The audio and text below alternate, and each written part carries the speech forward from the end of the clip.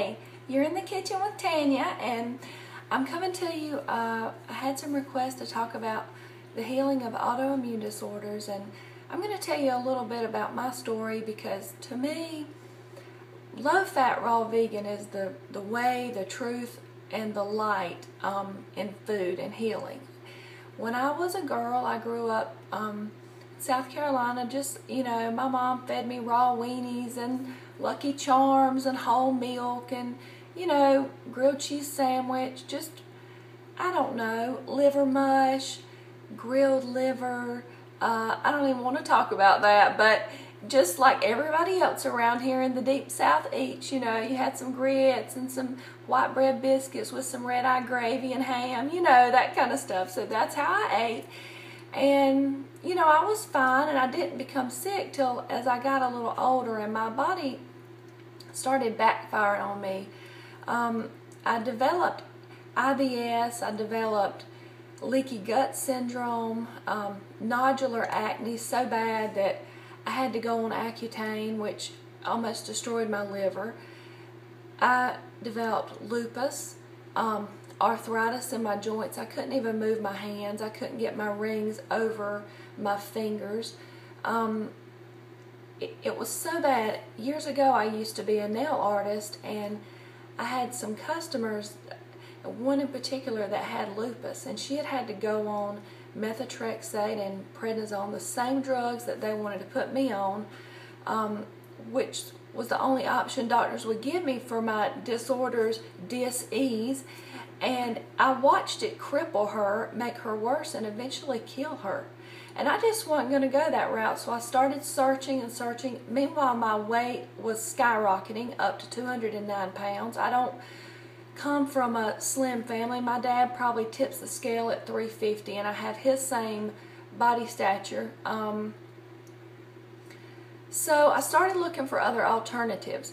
I I've read over a hundred vegan books. I've read and watched literally thousands of Dan McDonald videos, Durian Rider, Freelee, so many people that I have so much knowledge in my head on the healing. I, I want to help people, I really do. Um, so I, I started going vegan. I went cooked vegan and I started getting a little better. I would have some days where I was better and could get out of the bed and I seen myself and and I just never was realizing the full potential of my healing until I went raw. And at first, like a lot of people who go raw vegan, they they incorporate a lot of fats because you know there's a lot of things you can make with nut base and, and avocado base and all that, but it's not where the true healing is. The true healing is in low fat, high carb, raw vegan. I'm here to tell you because I lived it from experience. If you want to heal from autoimmune disorders, that's the way to do it. It does take time, but it's the answer. It's the answer without drugs. It's the answer without going down that long road to result in only your organs being damaged.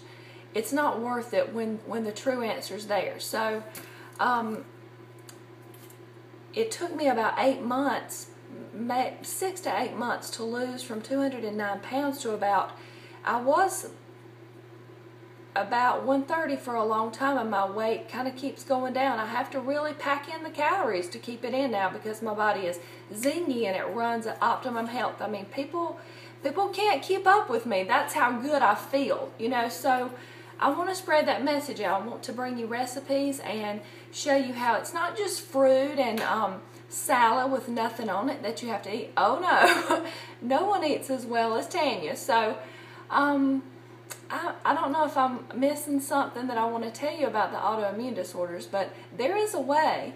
Um, so stay with me. I'm going to be bringing you some more recipes, uh, starting out with some dressings because I feel like to stay on low-fat raw vegan, people, there's a few components missing. You start to think, well, dang, I want more than fruit. You know, I want more than just a salad. And I want to go out to, say, the restaurant where they have salad and I want to get this big salad, but then, hello, I want some dressing. Well, you know what?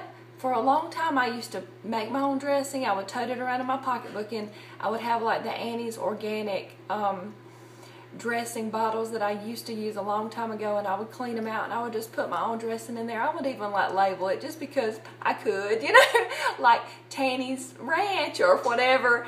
And so I would do that. But now I just, I'm like, I fly free on it. I mean, I can go out of town and there's fruit and vegetables everywhere. There's there's dates everywhere. I can go to a restaurant and I can eat a big salad and I can tell them what I want on it and what I don't want on it and I don't really mind. And if I want something, I mean, I might just pile on pineapple chunks or I might pile on tomatoes or you know, people that still use oil in their diet, they could use a little bit of olive oil and vinegar. I don't use those things now, but you have to start where you are and progress from there. You have to keep on doing it every day, not just think, dang, I can't do this. It's too hard. It's too, I'm like an alien in the world. You know what? If you want different, you got to be different. If you want different, you got to do different.